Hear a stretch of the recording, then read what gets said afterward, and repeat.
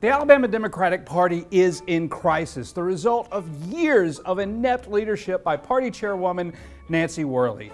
Previously on Kyle Complains About Things. Nancy Worley is incredibly bad at her job. She pleaded guilty to asking public employees to help her campaign. Worley let the party's domain registration lapse and someone replaced the party's website with ads for weight loss scams and cheap abortion. Worley demanded candidates pay money into a PAC, which at the time did not legally exist. Worley has paid hundreds of thousands of dollars in legal fees fighting the Democratic Party. And the question I keep getting is how?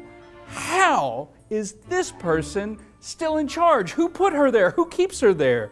The answer is complicated, but if you really want to know, take a deep breath because here we go.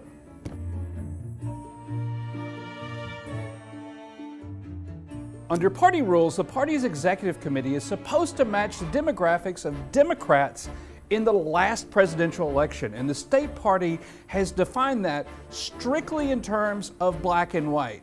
Now, you're probably thinking, what about all those other people who aren't either of those things? Well, we will get to that. The process begins when Democratic voters pick their district representatives at the polls during primaries, but those elected seats usually skew whiter than a perfect match. So the party adds at large members to balance things out. And who picks those at large members and how is a really big deal. Under the old party bylaws, the minority caucus chose who filled those seats. If you're confused because the minority caucus is actually a majority of the committee already, you're right and just, just hang on. Here's where things get really screwy. A majority of the minority caucus seats are controlled by a sort of party within the party called the Alabama Democratic Conference, a political organization led by longtime party boss Joe Reed, who supports Nancy Worley. At first, ADC doesn't have the votes to pick party leaders, but because it has a majority of the minority caucus, it gets to add more ADC people as at-large members until, ta-da, ADC has a majority and picks, for some reason, Nancy Worley. Even though all these other folks over here, a majority of the elected members can't stand her and can't stand Reed either.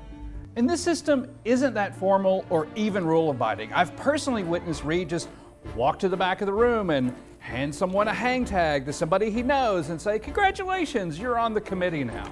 Frequently, all those other folks, black and white, hold hands and push back on Reed and Worley, but because of this system, they can never get to a majority unless someone changes the system, which is exactly what the Democratic National Committee has ordered them to do. The DNC has gone beyond seeing the world only in black and white. There are other demographics that matter too. LGBT, Hispanic Americans, Asian Americans, people with disabilities, and this is the big one, young people. This is, after all, the recipe for Democrat success. It cobbles together lots of smaller constituencies to build majorities and win elections. And earlier this year, the DNC ordered the Alabama Party to make room for all these other folks on the state executive committee. But Reed doesn't want those folks on the committee, and he and Worley have fought like hell to keep them off. The other problem the committee has is it is old.